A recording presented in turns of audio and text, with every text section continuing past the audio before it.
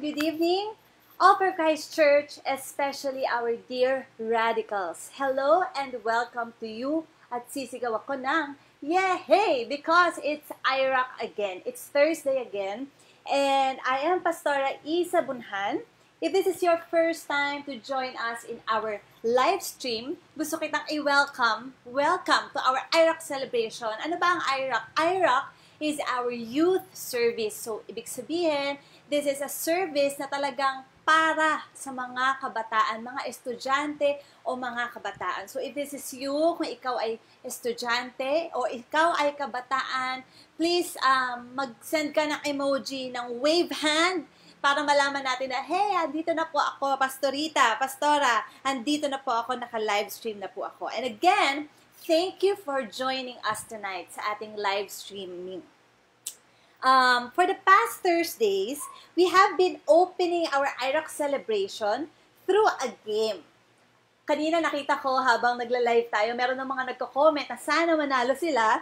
Talagang inaabangan nila. But for tonight, hindi tayo magkakaroon ng palaro. Oh, but magkakamustahan tayo. Wow! You know, we have moved our game nights to Tuesday nights every Tuesday tayo ay maglalaro at magsasaya together online through our Instagram account. Radicals ACC. Actually, na-try na natin, nagsimula tayo last Tuesday. We began our game night, tinatawag natin itong IROC Good Vibes, and nag-enjoy talaga kami. Ako especially, uh, personally, kami, kami ni Kuya JJ nyo, ay nag-enjoy kami habang nanonood. It's like a uh, bonding, parang alam niyo, parang yung Tuesday nights, gagawin natin siyang tambayan natin, bonding natin, para tayong gumala.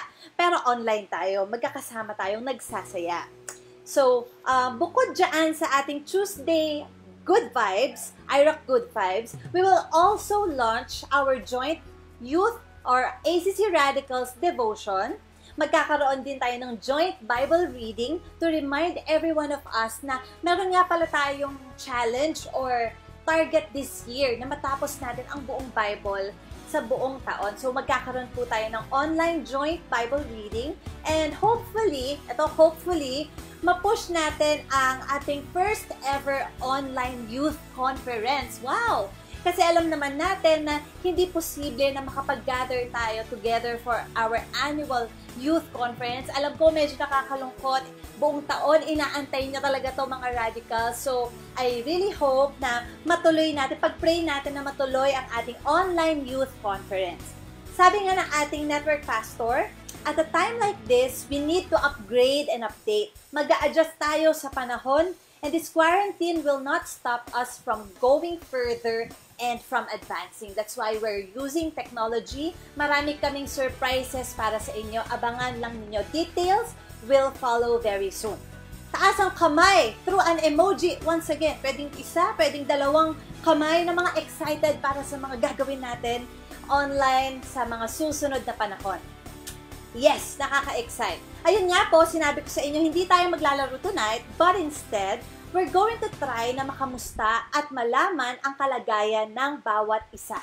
Kamusta kayo, radicals? Yan ang tanong ko sa inyo. Kamusta kayo? Kamusta kaya kayo? Nakikita ko lang kayo sa mga stories nyo, sa mga posts nyo, but I want to know, kamusta ka nga ba? It has been more than 45 days since tayo ay naging under enhanced community quarantine. Summer vacation nyo dapat to, but it turned into quarantine, kaya gusto kitang kamustahin. I want to ask all of you to comment down below sa, sa ating comment section using three emojis and three words, okay? Ulitin ko ha, using three emojis and three words kung paano mo um, i-express ang nararamdaman mo during this enhanced community quarantine. For example, ako, siguro kung ako ay nakiki-live stream, ang isa-send ko yung, yung emoji na may ganong kamay kasi excited ako sa ating mga online celebrations. Meron din akong konting sad emoji kasi nami-miss ko na ang All for Christ Church at ang outside world.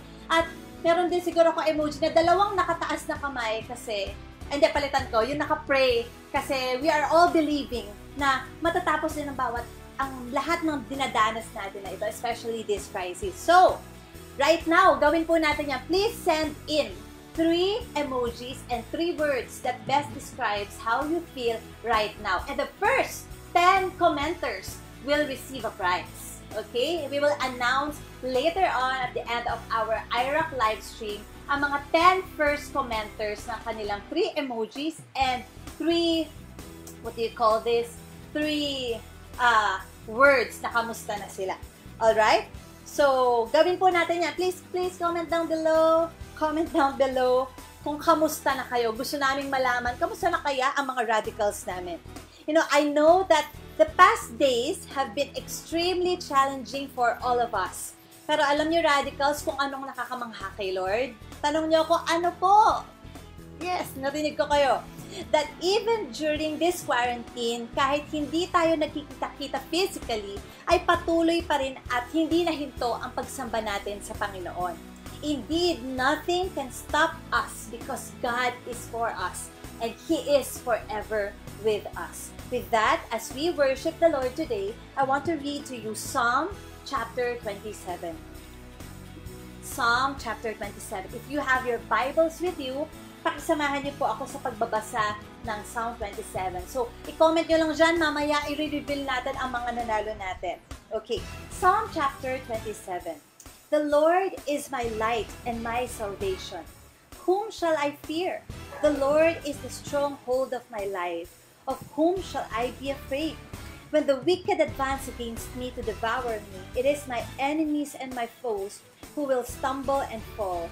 Though an army besiege me, my heart will not fear. Though war break out against me, even then I will be confident. One thing I ask from the Lord, this only do I seek, that I may dwell in the house of the Lord all the days of my life, to gaze on the beauty of the Lord and to seek him in his temple. For in the day of trouble, he will keep me safe in his dwelling. He will hide me in the shelter of his sacred tent and set me high upon a rock. Then my head will be exalted above the enemies who surround me. At his sacred tent I will sacrifice with shouts of joy. I will sing and make music to the Lord. Hear my voice when I call, Lord. Be merciful to me and answer me. My heart says of you, Seek his face. Your face, Lord, I will seek. Do not hide your face from me. Do not turn your servant away in anger. You have been my helper. Do not reject me or forsake me, God my Savior. Though my father and mother forsake me, the Lord will receive me. Teach me your way, Lord. Lead me in a straight path because of my oppressors. Do not turn me over to the desire of my foes, for false witnesses rise up against me, spouting malicious accusations. I will remain confident of this. I will see the goodness of the Lord in the land of the living.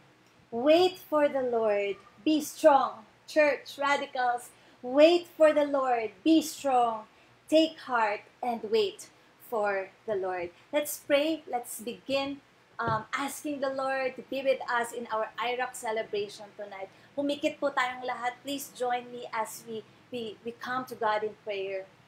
Thank you, Lord.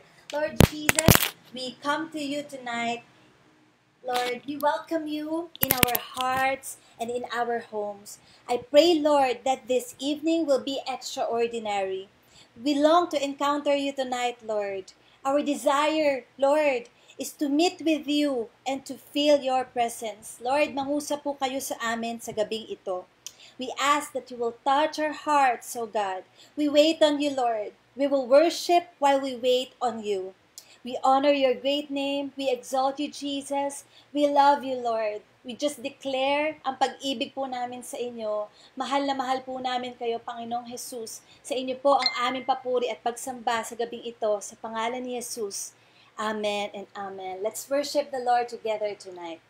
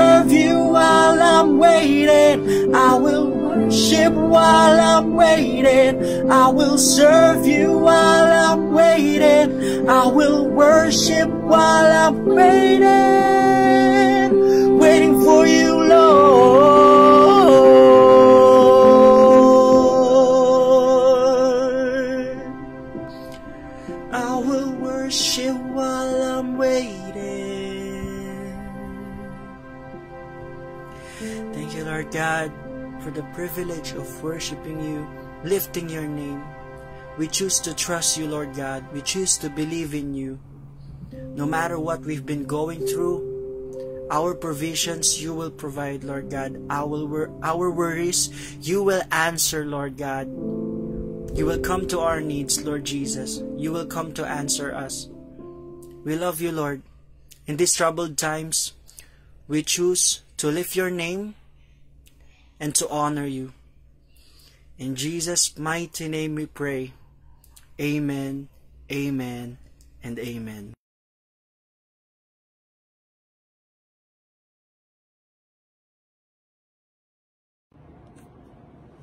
Good evening mga radicals at good evening po sa bawat isa na nakikinig sa kanilang mga tahanan. Welcome to our IROC online streaming. Kumusta na po ang bawat isa sa atin? I hope that you are doing good and in good shape. Na healthy po tayong lahat. Alam niyo po, miss na miss na po namin kayo. Miss na po namin yung ating mga celebrations yung ating mga gatherings, yung ating mga fellowship, mga kwentuhan, simpleng kumustahan, at talagang yung makita natin yung bawat isa. We miss, we miss all those things. Pero pansamantala na tayo po ay naka-lockdown, enhanced community quarantine, ito po ay panandalian lang. So habang naka-lockdown po tayo, mag-tune in na lang po tayo sa ating mga live streaming. Kasi sa pamamagitan po nito kahit papano mapapalakas po ang ating pananampalataya, makikita po natin ang ating mga pastor, at higit sa lahat po, mafe-feed po tayo ng Word of God.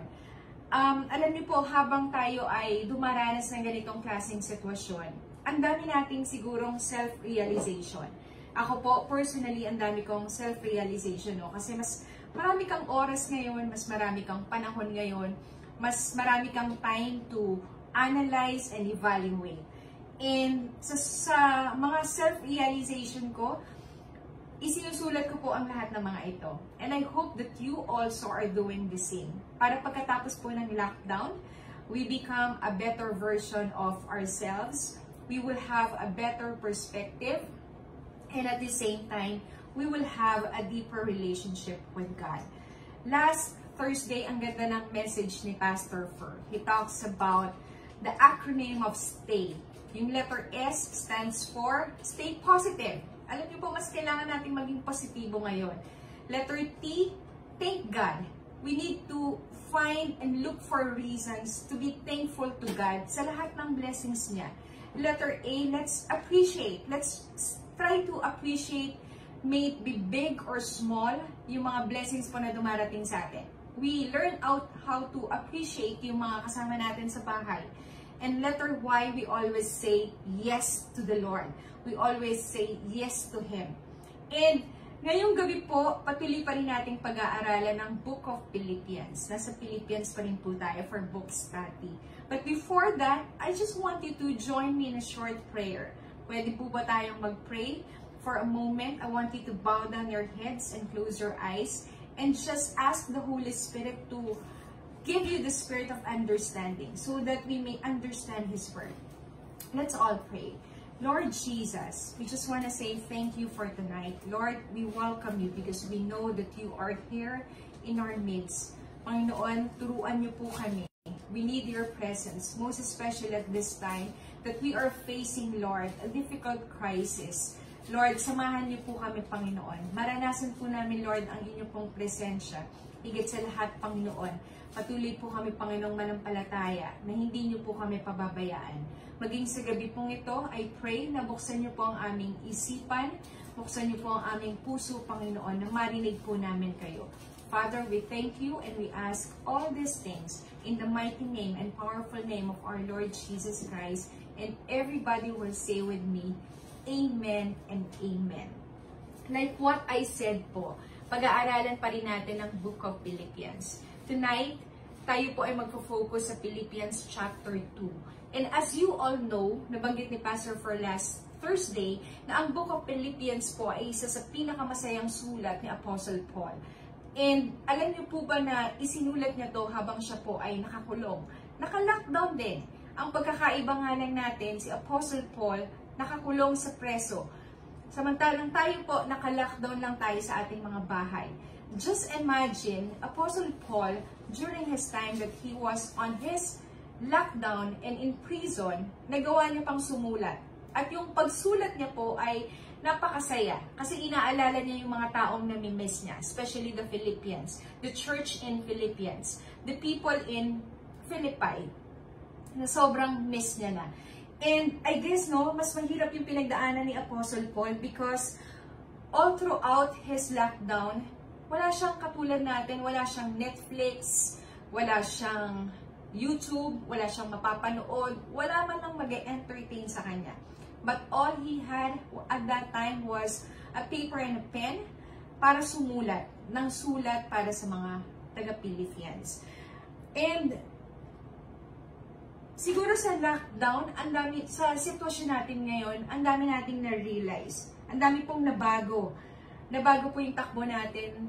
All of a sudden, biglang nabago yung buhay natin sa, sa, sa nangyari na COVID-19, yung pandemic. Bigla hong tumigil ang lahat. Ano pong nangyari? Tumigil ho yung pagiging busy natin. Siguro kung dati marami kang puyat, ngayon ang dami mo ng tulog. Puro tulog ka na lang, puro kain, pagpapahinga. Siguro namimiss natin yung time na sobrang busy tayo, abalang-abala yung katawan natin. Ang dami hong nabago, ang daming pagkakaiba ngayon kasi yung mga ginagawa natin noon, hindi natin masyadong nagagawa ngayon because we are totally locked down and have limited space and activities inside our houses. Wala nang masyadong natatraffic.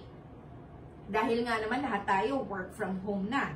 Wala na ring wala na rin masyadong namimiss yung mga anak nila kasi halos lahat ng mga young people ngayon, especially the teenagers, are not allowed to go outside. Lalo na kung wala kang quarantine pass. Ano pa? Mas naging homebody tayo. Not because it's our personal choice, but I think it's been a good choice for us na magstay talaga sa loob ng bahay para maiwasan po natin ang COVID-19. Though this pandemic put on hold everything and all activities in the world. You know, na-realize ko nga that everything can really come to an end. Pwede talagang matapos talaga ng, ng biglang isang click lang, matapos lahat ng ginagawa mo. But thanks be unto God, alam ko as we are experiencing all this crisis and this difficult situation, I know that there are still positive reasons to look at sa ating sitwasyon ngayon And we can still hold on to God's promises that one day, one day po, magiging maayos din ang lahat. At makikita din po natin ang ating mga kapatid at magkakasama-sama po tayo ulit. Ang prayer ko po tonight is we will all be strengthened by His Word. Let me just go back to the book of Philippians, chapter 2. At babasahin ko lang po yung verse 1 hanggang verse 11. Hindi ko po muna babasahin yung lahat. Ang sabi po dito, if you have your Bible, why don't you open your Bible with me and read with me together. Basahin po natin ang salita ng Panginoon. I'm reading in NIV version. Sabi po dito, Therefore, if you have any encouragement from being united with Christ, if any comfort from His love, if any common sharing in the Spirit, if any tenderness and compassion, then make my joy complete by being like-minded, having the same love, being one in spirit and of one mind. Do nothing out of selfish ambition or vain conceit. Rather, in humility, value others above yourselves, not looking to your own interests, but each of you to the interest of the others. In your relationship with one another, have the same mindset as Christ Jesus who, being in very nature, God did not consider equality with God something to be used to his own advantage. Rather, he made himself nothing by taking the very nature of a servant, being made in human likeness, and being found in appearance as a man, he humbled himself by becoming obedient to death, even death on a cross. Therefore, God exalted him to the highest place and gave him the name that is above every name, that at the name of Jesus, every knee should bow in heaven and on earth and under the earth, and every tongue acknowledge that Jesus is Jesus Christ is Lord to the glory of God the Father. Alam niyo po ngayong gabi yung message ko since we are studying Book of Philippians, pinamagatan ko po itong Live Life to the Fullest. Alam ko po na habang tayo ay naka-lockdown, we have limited activities, limited resources, halos lahat po limited. Pero we can still live life to the fullest. Because that is really the design of God. Yun po talaga ang disenyo ng Panginoon. That we can all enjoy our life we can all maximize our potentials, and we can live this, the, this life that God has given us to the full. Ang sabi po dito sa Book of Philippians, sa verse 1, Therefore, if you have any encouragement from being united with Christ, if any comfort from His love, if any common sharing in spirit, if any tenderness and compassion, then make my joy complete. You know, I realize that when we are united with Christ, when we are united with Jesus, we have this kind of comfort from His love. We have this kind of sharing in the Spirit His tenderness and compassion. May experience po natin ng lahat na to. Maybe you realize no, that there's a big difference if you come to know Jesus. If you are with God, mas less po yung tension. Mas less yung panic. Mas less yung nagkakaroon ka ng anxious thoughts. Mas less yung time na parang hindi mo alam kung anong mangyayari sa mundo. But you have this kind of peace inside your heart that you know lahat po ng ito ay matatapos at lahat po ng ito ay fully controlled by God. Tonight, as we live life to the fullest, I only have three points. First point I want us to remember and take down is let's love like never before. Sino na po ba rito ang nagmahal? Taas ang kamay. Sino na rito naka-experience magmahal? Alam niyo po, pag nagmahal ka, ito yung pinakamasarap na feeling ng isang tao na nararamdaman. But we will not dwell on the love that we think about the opposite sex. We will just dwell on the love that we have and experience from Christ. Nung time na nakilala natin ang Panginoon, we experience His love. Yung kakaibang pagmamahal ng Panginoon sa atin. We understand kung gaano tayo kamahal ng Panginoon. You know, the description of God's love to us is unselfish, unconditional, and selfless. Hindi inisip ng Panginoon yung sarili niya.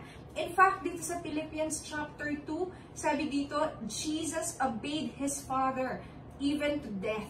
Death on the cross. Ganun na lang yung pag-ibig ng Panginoon sa atin. And what is the challenge of, of God for us? Ano yung hamon ng Panginoon para sa atin? Let's all love unconditionally. Let's all love unselfishly. Can we love like never before? Alam ko po na marunong tayong magmahal. And in fact, All for Christ has been known as a loving church. Tayo po ay mapagmahal. Sa totoo lang, no, this time of COVID-19, meron po tayong tinawag na may, uh, isang programa na Itawid COVID. Ito po ay initiative ng mga church leaders na mag-raise up ng mga funds, mag-gather po ng resources para lang po talaga maabot at matulungan yung mga taong nangangailangan. Para mas maramdaman nila na there are people in the church. There is a church that can help them. There is a church that can reach out to them. And you know, I realize that when we love like never before, it's a decision that we take this kind of feeling and this emotion and this kind of love like the love of Christ, yung pag-ibig po ng Panginoon. No, every time, every time po na nanonood ako at nakikinig ako ng, ng mga news and every time I saw news on the television, nakikita ko po talaga lahat ng effort ng mga Filipino. May it be big or small, mga celebrities, mga known, even mga companies, putting all the efforts together to reach out and to share whatever resources na meron sila. At ramdam na ramdam mo po talaga ang pag-ibig at pagmamahal ng mga Pinoy. How much more sa mga anak ng Diyos? Pwede ba nating pwede ba nating i i-level up pa yung pagmamahal natin para sa ibang tao? Pwede pa ba nating i-level up yung puso natin na mas, mas, mas maging mahusay pa sa pagmamahal? Alam mo, na-realize ko, no, habang naka, naka-lockdown, and every day, uh, monotonous yung activity. Gigising ka, maglilinis ka ng bahay, gagawin mo yung mga normal na nakagawian mo sa buhay, sa, sa ginagawa mo sa bahay. And na-realize mo habang kasama mo yung mga tao sa loob ng bahay, mas lalo mong nakikilala yung kasama mo sa bahay. Tama po ba? Mas lalo nating nakakasama. Matagal. Lalo na ngayon, every single day tayo ang magkakasama. Yung pamilya mo, yung tatay mo, yung nanay mo, yung mga kapatid mong makukulit yung mga kapatid mong mahilig mang asar, kayo-kayo yung magkakasama, you realize that the more time that you are together, the more time that you have been with us, with, with, with you, with your family, magkakasama kayo, mas lalo nyo pong nakikilala ang bawat isa. Minsan nagkakapikunan, minsan nagkakaasaran, minsan nagkakabuisitan. Pero sa totoo lang, marirealize mo, at the end of the day, yung pamilya mo pa rin talaga ang babalikan mo But tonight, ang challenge sa atin is, if we want to live life to the fullest, ang kailangan natin gawin, let's love like never before. turuan natin na mas lalo pa natin i-level up ang pagmamahal natin. Una sa Panginoon, pangalawa sa ating mga kapatid, sa ating mga kapamilya, sumunod sa mga taong mas nangangailangan pa ng pagmamahal. I guess when you see the social media, when you see Facebook, when you see IG, you can realize no, ang dami-daming tao ngayon ang so much depressed, takot, anxious, nag-aalala, balisa, hindi nila alam kung anong pwedeng mangyari sa mundo. And makikita mo yung kanilang mga emotions, yung kanilang mga pinaparating sa Facebook. But let's become a different type of people. Let's spread love. Let's have the capacity to level up our love. Let's increase our capacity to love. Alam niyo po, kahit we are in distant, malayo po tayo sa isa't isa, hindi po tayo magkakasama, we are still connected. You and I are still connected. So let's be more loving and caring. Let's love like we never loved before. Yung kind of love na talagang, alam mo, ginagawa mo yung isang pagmamahal, yung isang bagay dahil mahal mo. Ang sabi nga ni Apostle Paul also in 1 Corinthians 13, sabi niya doon, If I give all I possess to the poor and surrender my body to the flames, but have not love, I only gain nothing. Wala pa rin ako mapapala. I think everything will boil down to one thing. And God wants us to increase our capacity to love. Magmahal tayo ng lubusan. Mas maging, mas maging, mas pagbutihin pa natin yung pagmamahal natin para sa ating pamilya, sa ating kapwa, at sa ating mga kapatid. You know, I realize without the love of God, kung wala po yung pagmamahal ng Diyos sa atin, I think we are all wasted. Wala tayong direction, wala, walang salvation. But thanks be unto God because His love is so perfect. It's so unconditional. Wala siyang tinitingnan. Hindi niya, hindi niya mini-measure up yung ating pagkakamali. But He is looking at you as a precious child of God. Mahal na mahal po tayo ng Panginoon. And why don't we ask ourselves, can I still level up my love for others? Kaya ko pa bang itaas yung pagmamahal ko para sa iba? Let's all love with all our hearts. Because love is all that matters now. Pag-ibig po ang siyang magtatagumpay at patuloy na maglilid sa atin para mas maging malapit po tayo sa Panginoon. Second point. Second point po, how we can live life to the fullest. It's is shine like never before. Sabi ni Apostle Paul in Philippians chapter 2 verse 5 to 8, in your relationship with one another, have the same mindset as Christ Jesus, who being in very nature God, did not consider equality with God something to be used to his own advantage. Rather, he made himself nothing by taking the very nature of a servant, being made in human likeness, and being found in appearance as a man. He humbled himself by becoming obedient to death, even death on a cross. I think this time of COVID-19, if we raise our love high, and then we need to shine like we never shine before. Ang hamon po sa atin ng, ng panahon is Christ-likeness in the midst of COVID-19. Alam ko maraming tao nagre-reklamo kung bakit hindi sila nabigyan ng ayuda, bakit delayed yung ayuda, bakit ito lang yung na-receive nila. I think sa panahon na to, mas lalo nating paigtingin pa, mas lalo nating paghusayin yung pagiging kristyano natin. Kung paano tayo mabubuhay na mas maningning. Mas nakikita ng tao na, oh, kakaiba yung pamilya na to ah, na kahit merong, merong krisis sa mundo, bakit parang ang saya-saya pa rin nila? Bakit hindi sila nagkakagulo? Bakit hindi sila nag-aaway-away? Anong meron sila? Maybe our neighbors will be will be conscious and curious enough na why is this family is getting better and better? Na habang merong krisis na pinagdadaanan, bakit mas nagiging maayos pa sila? Because God wants us. Look at me. God wants us to be more like Jesus.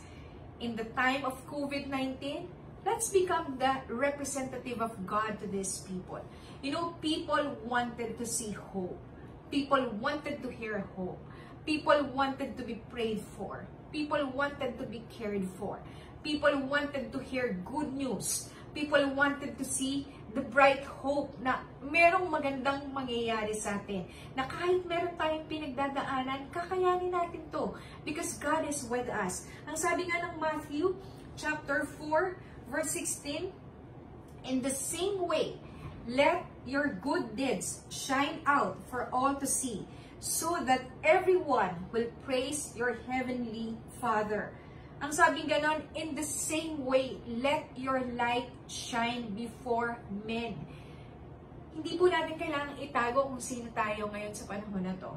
The more that we need to broadcast, the more that we need to shout out, the more that we need to, to let people know who we are, that we are children of God. And we need to inspire people. We need to, to shine. We need to shine like the stars in the universe. Ang sabi ni Paul sa verse sa verse 12, Therefore, my dear friends, as you have always obeyed, not only in my presence, but now much more in my absence, continue to work out your salvation with fear and trembling. Do nothing. Do everything without grumbling or arguing, so that you may become blameless and pure, children of God, without fault in a warped and crooked generation. Then you will shine among them like stars in the sky. Alam ko po na mahirap yung pinagdadaanan natin. But why don't we choose to shine like the stars in the universe? Why don't we choose to shine for Jesus? Mas kailangan po nating magningning sa panahon na to. Ikaw at ako, ang hamon ng Panginoon, God wants you to shine. And God wants you to shine brightly. Third point, and I'm gonna close on this. If we want to live life to the fullest, serve like never before. Maglingkod po tayo sa Panginoon. Eh, Pastor Vibs, naka-lockdown nga lahat. Anong klaseng ministry ang pwede kong gawin? Yung ministry ko on the stage. Hindi ko pwedeng gawin sa loob ng bahay. Think about how you can serve. You know what, the last, at the last passage of Philippians chapter 2, Paul commended two persons. Meron hong nirekomenda si Apostle Paul na dalawang tao. Let me just read with you, no? Si, si Timothy at saka si Epaphroditus. These were the two people who was with Paul during the time that he was in prison. At ang sabi po ni Paul, ni Paul sa verse 20, I have no one else like him who takes a genuine interest in your welfare. Si Timothy Epaphroditus was man of God, men of God, na talaga namang nag-shine, talaga namang ipinakita kay Paul ang kanilang pagmamahal sa kanilang leader. At hindi lang po yun, pinaglingkuran nila si Paul during the time of, of need. Yung time na nangangailangan si Paul, they were there for them. They were there for Paul. Ang sabi ganun ni Paul, they showed interest and care for them. How about us? Alam niyo po, every time I see the frontliners and every time I see news on the television na talaga naman yung mga frontliners natin, they are sacrificing their their families, hindi nila nakikita, hindi nila nayayakap. Talaga namang minsan nakakadurog ng damdamin kasi meron ako napanood isang isang police na every time na uuwi siya, inaabangan siya ng mga anak niya. Hindi siya mayakap. Ang ginawa niya, miss na miss niya na yung mga anak niya, yung kanyang initiative para lang mayakap niya, binalot niya ng plastic yung dalawang bata. At yung nakabalot na yung plastic yung mga bata, inakap niya. Talagang niyakap niya na mahigpit yung mga anak niya kasi nga, hindi siya pwedeng yumakap basta-basta eh. Uh, hindi masyadong safe. But one thing no that really strikes me is Filipinos, we are we are so much care uh, marami mahilig tayong mag-care sa ating mga kapwa. Sobrang ano tayo, sobrang maalalahanin tayo sa ating kapwa. And not only that, it's more time that we need to to to show to these people that we can serve in a way that we never served before. Yung hamon talaga na pwede tayong maglingkod, pwede tayong maging encouragement, pwede tayong maging inspirational. Si Timothy and Epaphroditus, they serve God's purpose by serving God's people. How about you? Na ngayong pandemic, kaya ba nating mag-alay At sabihin sa Panginoon na, Lord, I want to serve you in my own little capacity. Gusto ko maglingkod. Hindi naman kailangan laging sobrang bongga or sobrang sobrang announce or or what. Pero ang kailangan lang natin is to decide that, Lord, I want to serve you. And if you want to live your life to the fullest, why don't you love God above all? Why don't you shine like you never shined before? And why don't you serve God like never before? We may be locked down, mga kapatid. Pero sa totoo lang, our spirit are not locked down. Hindi naman talaga totoo na lockdown. I think the more that we need to encourage other people, the more that we need to pray for other people, the more that we need to really, really become an inspiration to other people. In closing, let me just encourage everyone. Maybe you feel that you are hopeless. And sometimes parang feeling mo, wala namang patutungan tong sitwasyon na to. Maaring nararanasan mo minsan na parang nagpapanik ka, nag-aalala ka, kung anong pwede pang mangyari sa kinabukasan. But I want us to realize if we make God the center of everything, and if we hold on to all His promises, I'm sure mas magiging ibang takbo ng puso at isip natin. Pwede ngayong gabi, you wanted to say to God na, Lord, more than anything else that I am experiencing with, more than this pandemic situation, more than the difficulties, I want to decide tonight that I want to love you like never before. I want to shine brighter like never before. I want to serve you, Lord, like never before. Panginoon, hayaan mo mas maging maigting ang aking pagmamahal. Mas maging maigting, Panginoon, ang aking pag-ibig sa iyo. Mas mamuhay ako, Panginoon, ng merong mataas na papuri sa iyo. At mas maglingkod ako, Panginoon, ng merong kagalakan. If this is your prayer, kapatid, I just want you to bow down your heads and I'm gonna pray for you. Amen? Let's all pray. Father, in the name of Jesus, I just lift up everyone right now. Lord, sa mga tao na gusto nilang ialay muli sa inyo ang kanilang mga buhay. Father, we want to love you more like never before. We want to shine brighter, Lord, like never before. We want to serve you, Lord, like never before. Hayaan niyo, Panginoon, sa kabila, Lord, na aming pinagdara, pinagdaraanan, Lord, na pagsubok, mas lalo pong maging maigting, Panginoon, ang aming pagmamahal sa inyo, ang aming pagmamahal sa aming kapwa, ang aming pagmamahal sa aming pamilya. Lord, mas lalo pong magningning, Panginoon, ang aming mga buhay. Mas lalo pong makita kayo, Panginoon, sa aming buhay. Higit sa lahat, Panginoon, sa bawat pagkakataon, Lord, na ibibigay niyo sa amin, hayaan niyo po, Panginoon, maglingkod po kami, Lord, ng meron pong kagalakan. Father, I declare right now the joy of serving you, the joy of loving you, the joy, God, of living for you. And I just declare, Lord, that you will bless your people, O God.